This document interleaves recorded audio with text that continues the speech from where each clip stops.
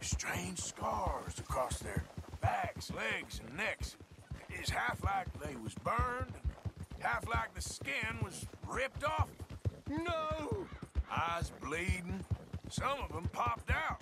No! If I hadn't seen the storm, I would have thought some devil caused that mischief. But no, sir. It was lightning. Electricity does something, all right.